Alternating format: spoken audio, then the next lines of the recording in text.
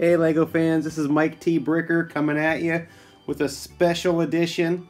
Uh, this one goes out to Brick Barian who commented on the Little Calvary Christian Church, uh, wanting me to open it up and show you the interior, which I'm happy to do. This is my favorite creation um, as it was a great build. Uh, some of the things I'm going to show you here, just with the, the stained glass windows here themselves, um, those were those took about an hour and a half to do. There were two of them. There's one on this side right here, um, and there's one on this side. Um, they were very, very intricate. Probably one of the most intricate things I've done with Lego. Um, a lot of uh, frustrations as those were built, but um, luckily I was building a church, so there wasn't too much profanity in there.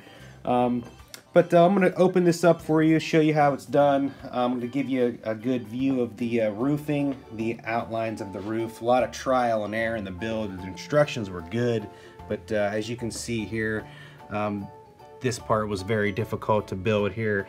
Kind of fits into this underneath this thing on the roof right here. And as you'll see in just a second here, to uh, get to the inside, I, this is a separate build right here, the bell tower.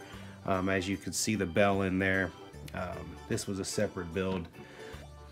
So we've got the uh, church opened up now and you can definitely see the inside. Uh, it's not like the Lego uh, modulars where they come out in sections. Uh, this one I had to take the roof off to get to the inside, but you can see a really good uh, overview of the stained glass windows on the inside and how those were done. You can see that with the round clear pieces with the different color uh, one by ones and one by twos that were used to make those stained glass windows. Um, you can see the cross in the background. It's a, a really nice cross that uh, he used to use in his design. Uh, it, does uh, go at a 90 degree angle to fit in the church really nice. And he's got the baptismal basin in here uh, for the baptisms and uh, yeah, he's got a couple rows of pews on both sides and he's got the upper pews. I don't know, maybe uh, someone of importance will sit up there. Um, but uh, that's really about it. You can see the inside of these stained glass windows here. There was a bunch of those done. Those took a while to do because you've got nine of them on each one of those windows to make those give the appearance of the stained glass windows.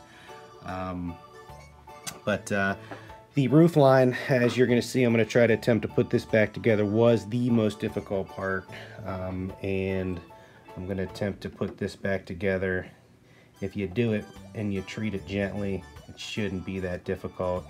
Had some trouble in the first video we tried to do of, of the church here. Um, that's why you're going to notice that it was a little bit pieced together. Um, but uh, those at the right angle should just push on um, as long as you're nice and gentle here.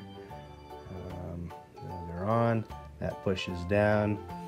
Here the roof snaps back on fairly easily here and then we'll get the steeple. The steeple as you can see here the steeple made use of these black bars here to kind of mesh in with the uh, roof line.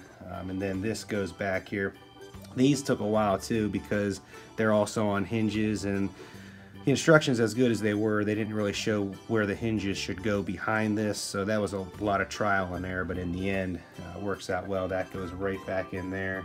The steeple uh, gets pressed down right here, and you've got the church back together again. Just kind of straighten up the crosses a little bit, uh, and there you go.